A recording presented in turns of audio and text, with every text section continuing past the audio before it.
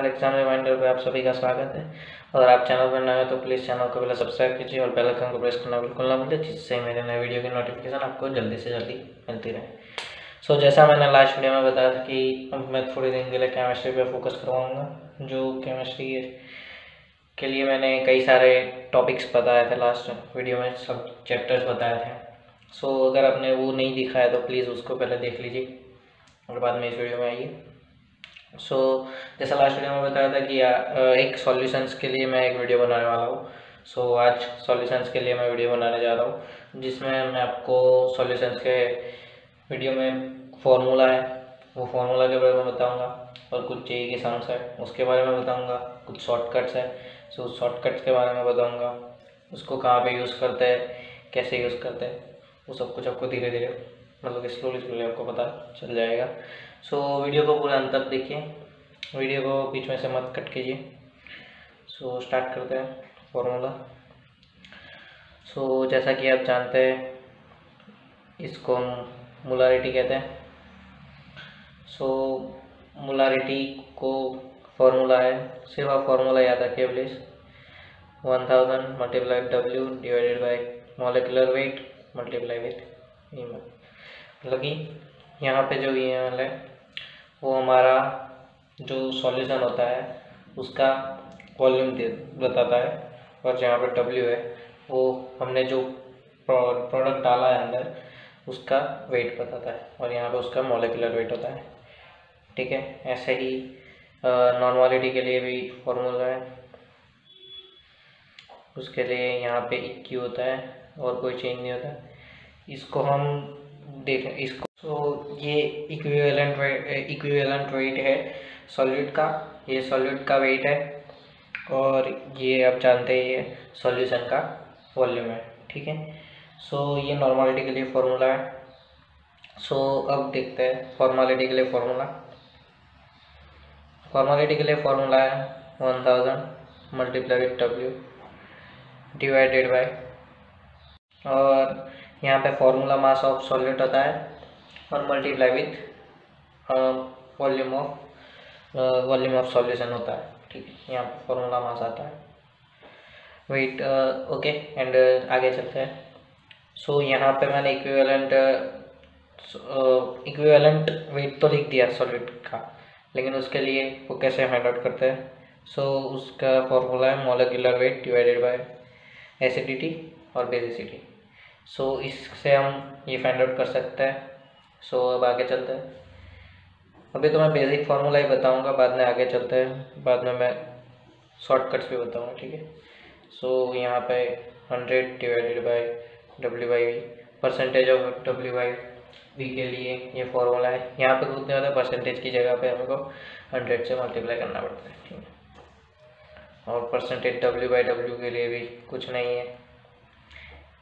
यहाँ पे सिर्फ़ इतना याद रखिए ये सॉलिड के लिए और ये है सॉल्यूशन के लिए। सो so, यहाँ पे देखते हैं वॉल्यूम बाय वॉल्यूम के लिए। So volume by good night अब आगे चलते हैं। आपको मोल अंश के बारे में पता होगा। मोल फ्रैक्शन बोलते हैं उसको। सो मोल फ्रैक्शन के लिए भी फॉर्मूला है।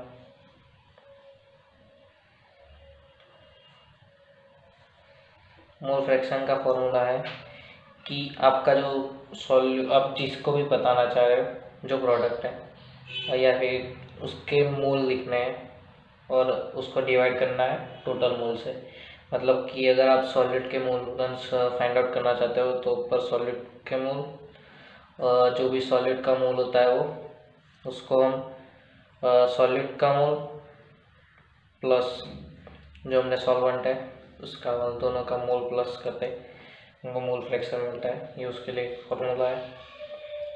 सो so, पीपीएम के लिए एक फॉर्मूला है। सो so, पीपीएम को हम आ, ऐसे डिफाइन करते हैं। यहाँ पे मैंने सिर्फ़ मिलीग्राम पर लीटर लिखा है। मतलब कि ये फॉर्मूला आपको कुछ भी दिया हो तो उसको आपको ऊपर को मिलीग्राम में कन्वर्ट कर देना है मतलब कि आपका जो सॉल्यूट है उसका वेट को मिलीग्राम में कन्वर्ट करना है और सौ, यहाँ पे नीचे सॉल्यूशन होता है, उसको लीटर में कन्वर्ट कर देना है, सो आपको पी पी पी एम इसी तरह से मिल सकता है। सो अब आगे चलता है शॉर्टकट्स पे।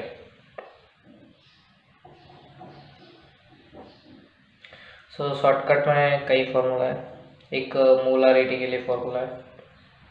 Ten by molecular weight multiply with percentage of weight by volume so ये फॉर्मूला इंपॉर्टेंट है। अगर आपको एग्ज़ाम में परसेंटेज वेट बाय वॉल्यूम दिया गया है सो आप मोलारिटी फाइंड आउट करना चाहते हो तो इजीली फाइंड आउट कर सकते हैं। और एक रिलेशन है कि परसेंटेज वेट बाय वॉल्यूम को हम D multiply with percentage weight by weight लिख सकते हैं। यहाँ पे डी क्या है? सो डी ए टेंसिटी है। आपको याद रखना है।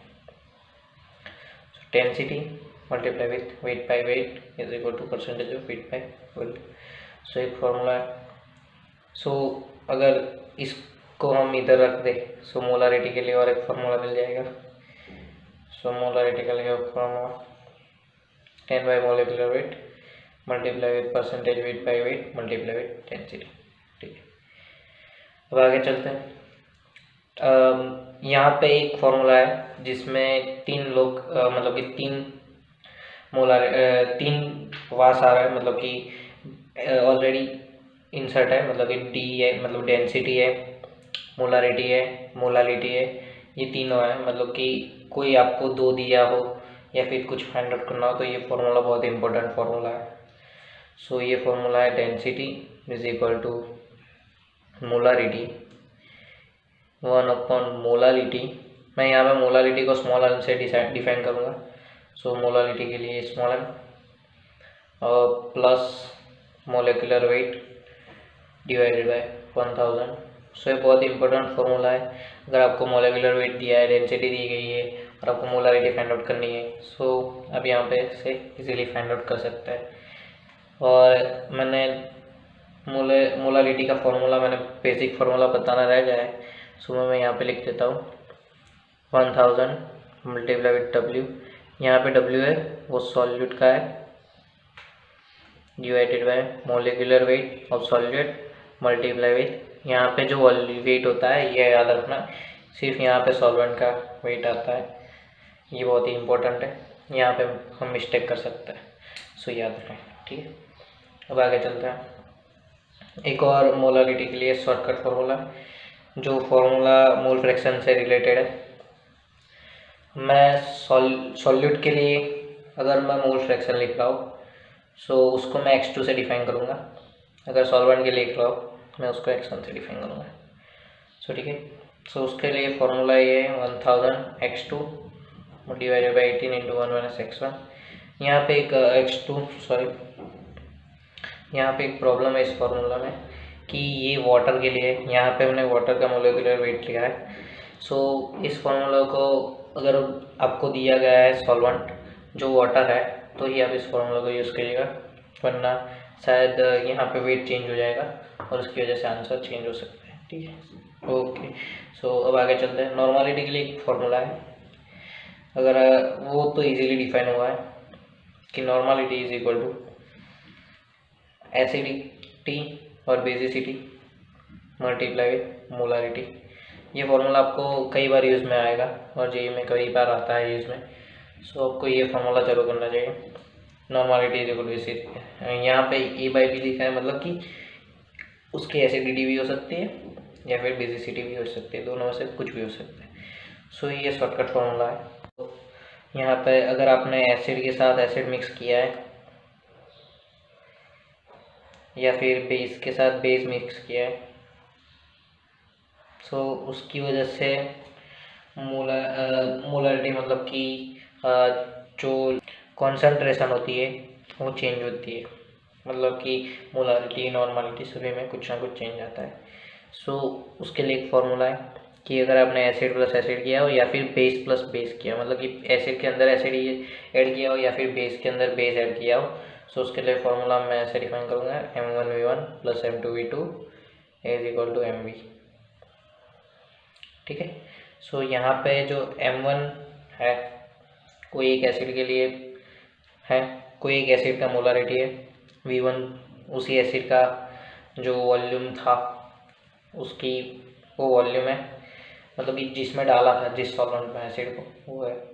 और एक एम टू है उसमें भी हम मोलारिटी है दूसरे की। और ये यहाँ पे टोटल आपको इस फॉर्मूले से आपको ऐसा बता कि आपको एम फाइंड आउट करना यहाँ पे जो वी आएगा वो V one plus V two ही होगा ठीक है? सो so, इस फॉर्मूले से आपको फाइंड आउट करना है और वो आप कर सकते हो। अब आप जानते हैं कि अगर आपको एसिड दिया गया है और उसमें आपने बेस को ऐड किया है सो so, तब फॉर्मूला क्या बनेगा? सो एसिड और बेस अगर मिक्स होते हैं सो वाटर बन जाता है। सो so, इसके लिए हम कुछ भी लिख M one V one minus M two V two is equal to M V यहाँ पे फॉर्मूला कोई भी हो सकता है। यहाँ पे मैंने एम वन वी वन के लिए ऐसे लिया है तो इसके लिए बेस दिया है। लेकिन कुछ भी हो सकता है। अगर ये बड़ा है जो बड़ा है उसमें से हमको माइनस करना है। अगर ये बड़ा है तो फॉर्मूला ऐसा बन जाएगा। सो so, प्लीज़ इसको ध्यान रखना। अब आगे चलते हैं कि अगर हम पानी ऐड कर रहे हैं मतलब कि वाटर को ऐड कर रहे हैं सो so, वाटर क्या करता है? तो कॉन्सेंट्रेशन है उसको कम करता है। लेकिन अगर हम वाटर ऐड करते हैं या फिर वाटर कम करते हैं सो उससे वॉल्यूम है उसमें चेंज होता है। और वॉल्यूम की वजह से यहाँ पर मोलारिटी मतलब कॉन्सेंट्रेशन में चेंज होता है। So N one V one अगर हम वाटर ऐड कर रहे हैं तो और M one V one M two V two इस फॉर्मूला में आप एन बी डिफाइन कर सकते हैं। ये तो मोलारिटी के लिए फॉर्मूला है। अब एसिडिटी बेसिसिटी के हिसाब से एन में ले जाइएगा। बाद में आप इजीली कर सकते हो। अगर आपको एम फाइंड करने के बाद आप एन भी फाइंड आउट कर सकते हो। ठीक है? सो ये फॉर्मूला याद रखिएगा। और भी लो, और भी है फॉर्मूला सो उस फॉर्मूला पर चलता है। यहाँ पर मैं हेनरी का फॉर्मूला लिख रहा हूँ। P is directly proportional to mole fraction so P is equal to एक कॉन्स्टेंट आता है, जिसको हम के एच डिफाइन करते हैं। जो के एच होता है उसको हेनरी का कॉन्स्टेंट बोला जाता है। सो so, यहाँ पे से अगर हमारा के एच बढ़ेगा ये इंपॉर्टेंट एफ़ सी पूछा जाता है। सो so, उसकी वजह से अपना एक्स मतलब कि मोल फ्रैक्शन कम होगा। अगर मोल फ्रैक्शन कम हो रहा है तो आपका टेम्परेचर इंक्रीज होगा। याद रखिए इम्पोर्टेंट एम सी क्यू है। यहाँ पे अगर आपका के एच है यहाँ पे एच है मतलब कि हेनरी कॉन्स्टेंट वो लो हो रहा है।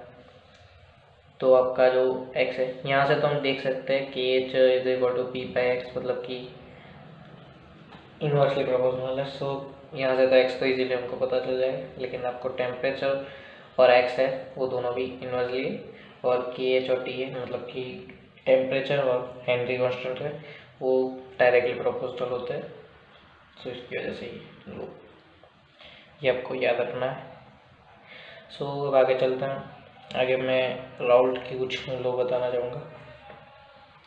सो so, राउल्ट का लो ये है कि आपके राउट का लो दो डिफरेंट दो लो दिए गए सो राउट के दो लो है। सो so, दोनों लो को मैं दिखाऊँगा। उसका फ़र्स्ट लो है। वो नॉन नॉन वोलेटाइल सॉलिड के लिए और सेकेंड लो है। जो सिर्फ़ वॉलेटाइल सॉलिड के लिए ये नॉन वॉलेटाइल में क्या होता है कि उसकी वजह से हम प्रेशर क्रिएट नहीं होता है और प्रेशर में कुछ चेंजेस होता है। उसके हिसाब से उसने लॉ बनाया था। सो नॉन वॉलेटाइल के लिए मैं पहला लॉ बताना चाहूँगा। सो नॉन वॉलेटाइल के लिए P one is directly proportional to X one आप पूछोगे पी वन क्या है एक्स वन क्या है? सो पी वन है वेपर प्रेशर सॉरी यहाँ पे पी वन है। जो आपका जो सॉल्वेंट है, उसका प्रेशर है वन है, वो सॉल्वेंट का मोल फ्रैक्शन है। सो उसकी प्रोपोजल होता है। सो यहाँ पे फिर से एक कांस्टेंट आएगा। P one zero P one nought भी बोलते हैं। सो इसको हम क्या कहते हैं? सो ये प्योर अगर वो प्योर सॉल्वेंट है उसका जो प्रेशर होता है, वो प्रेशर हम पी वन नॉट से डिफाइन करते हैं। ये एक फॉर्मूला हो गया। बाद में हमने ऐड किया। आपको ऐसा पूछा जा रहा है कि मैंने नॉन वॉलेटाइल सॉलिड उसमें ऐड किया है, जो सॉल्वेंट है, उसमें ऐड किया है सो उसकी वजह से प्रेशर में डिफरेंस कितना होता है। सो आप ऐसे डिफाइन कर सकते हैं। P one nought minus P one याद रखें पी वन हमेशा हर बार less less than P one nought होता है। सो so, और अब आगे चलते हैं सेकंड फार्मूला पे। सो सेकंड फार्मूला ऐसा है कि आपने वॉलेटाइल सॉलिड ऐड किया है। सो so, उसकी वजह से क्या होगा कि जो सॉ आपका जो प्रेशर था सो so, वो प्रेशर और बढ़ जाएगा। सो so, प्रेशर बढ़ा तो उसने ऐड के लिए फार्मूला बना दिया।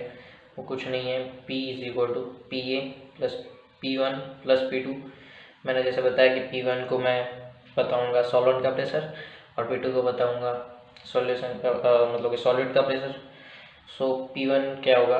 P one nought X one plus P two nought X two so यहाँ से मैं पी डिफाइन कर सकता हूँ इजीली सो ये पी है।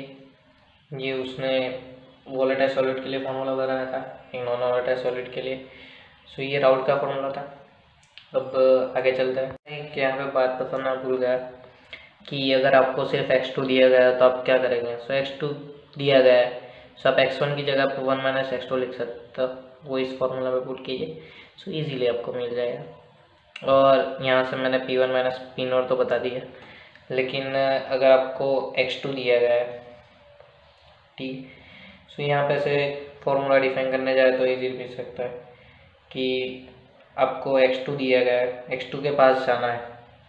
सब एक्स टू के पास कैसे जा सकते हो? सो यहाँ पे मैं पी वन की जगह पे कुछ रखता हूँ X one P one nought. So P one nought common निकलेगा, one minus X one so is equal to P one nought X two ऐसा लिख सकते हैं सॉरी आपको निकला आप लिख सकते हैं। इसको मैं P one nought X two ऐसे लिख सकता हूँ। अगर ये फॉर्मूला है, यहाँ पे मैंने P one minus P one nought, P one nought minus P one का फॉर्मूला बताया। वो क्या होता है? P one nought X two. So P one nought को हम नीचे ला देंगे। P one nought, so is equal to X two. ये एक अच्छा सा फॉर्मूला है, जो कई बार यूज़ में हो जाता है। और कैसा होता है कि एड टू जो होता है मतलब कि मोल होता है जो सॉल्व का वो बहुत कम होता है। सो एक्स टू को वो लोग डायरेक्टली डिफाइन कर देते हैं। N two divided by N one because कि वो सॉल्वेंट का जो मोल होता है वो सॉलिड के मोल से कई ज़्यादा होता है। तो और एक फॉर्मूला है एलिवेशन ऑफ़ बॉइलिंग पॉइंट उसको हम डेल्टा टी से दिखाया जाता है। उसको वो डायरेक्टली प्रोपोजनल होता है मोलारिटी से। सो so, मोलारिटी के लिए यहाँ पे फिर से कांस्टेंट आएगा जिसको हम के बी बोलेंगे। के बी होता है कि के भी कॉन्स्टेंट है जिसको हम मोलर एलिवेशन कांस्टेंट बोलते हैं सॉल्वेंट्स का। सो so, यहाँ पे मोलालिटी के लिए हम फॉर्मूला लगाएँगे। सो so, मोलालिटी का बेसिक फार्मूला मैंने आपको बताया जैसे कि ये होता है। तो ये डेल्टा टी के लिए फार्मूला है। ये फार्मूला यूज़ हो सकता है अच्छी जगह पे। ऐसे ही जैसे एलिवेशन ऑफ़ बॉइलिंग पॉइंट है वैसे ही एलिवेशन ऑफ़ फ्रीजिंग पॉइंट होता है। So elevation of freezing point में कुछ नहीं होता है यहाँ पे डेल्टा टी एफ़ होता है। सो so, उसकी वजह से के एफ़ एम मिलता है जो होता है मोलल फ्री यहाँ पे जो के एफ़ होता है उस के एफ़ को हम बोलते हैं मोलल डिप्रेशन कांस्टेंट सो यहाँ पे फिर से मोलारिटी का फार्मूला लगाएँगे और वो मिल जाएगा यहाँ पे ये मोलिकुलर वेट है ये आप सबको पता है। यहाँ पे सिर्फ़ के भी नहीं पता था सो मैंने बता दिया। वो एक कांस्टेंट है जो इसमें आता है। उसको बोलते हैं मोलल एलिवेशन कॉन्स्टेंट, ठीक है? सो ये फार्मूला काफ़ी इंपॉर्टेंट है। अगर आपको सिर्फ़ अच्छा सा, अगर आपको पानी दिया है तो उसके लिए टी वी नॉट पता करना है मतलब कि बॉइलिंग पॉइंट के हिसाब से होता है। सो बॉइलिंग पॉइंट क्या होता है पानी के लिए? Hundred degree Celsius so hundred degree Celsius is equal to three seventy three kelvin so ये होता है। टी बी नॉट अगर आपको ऐसा बोले कि डिफरेंस फाइंड आउट करके दीजिए, तब कम आएगा। आपको टी बी फाइंड आउट करने के लिए बोलेंगे, तब कम में आएगा, क्योंकि ये T V nought delta T V is equal to T B minus T B nought होता है। ये याद रखना। और जब डेल्टा टी एफ़ की पारी आए तो यहाँ पे T F nought minus T F होता है। यहाँ पे आप पूछोगे कि टी एफ़ नोड क्या होता है? टी एफ़ नोड होता है टू सेवेंटी थ्री कैलविन यहाँ पे पॉइंट फिफ्टीन भी लिखा जाता है, क्योंकि exact value two seventy three point fifteen kelvin होती है, इसलिए। सो ये याद है, यहाँ पे भी पॉइंट फिफ्टीन कैलविन लिख सकते हैं। सो ये डेल्टा टी बी और डेल्टा टी एफ़ के फॉर्मूले थे। अब आगे चलते हैं। यहाँ पे और एक फार्मूला है, जो ऑस्मोटिक प्रेशर इन बार के लिए ये आपने पता होगा, अपनी बुक के लिए। बुक में से, ये बेसिक है। सो यहाँ पे मैं बताऊँगा कि एनआरटी और वी क्या है। ये पाए है, जिसको हम ऑस्मोटिक प्रेशर इन बार बोलते हैं। और वी है, जिसको हम volume of volume of solution in litre होता है। ये लीटर में होता है, आपको याद रखना है, यहाँ पे मिस्टेक नहीं करेंगे हम। सो और यहाँ पे जो एन है, उसको number of moles of solute R आप जानते ही हैं। वो बेसिक कांस्टेंट होता है गैस के लिए। उसकी वैल्यू उसकी वैल्यू के हिसाब से हम उसकी वैल्यू लिखते हैं एट पॉइंट थ्री वन के हिसाब से। सो so, और टी है वो टेम्परेचर डिफाइन करता है। सो so, ये फॉर्मूला के हिसाब से वो गैस का जो फॉर्मूला था P V is equal to N R T उसके जैसा ही नज़दीकी है फॉर्मूला है और कुछ चेंज नहीं हुआ है। सिर्फ़ पी की जगह पे हमने पाई लिख दिया है। सो ये याद रखने की ट्रिक है। अगर आप भूल जाओ तो अगर आपको वीडियो पसंद आया तो वीडियो को प्लीज़ लाइक कीजिए शेयर कीजिए और सब्सक्राइब कीजिए।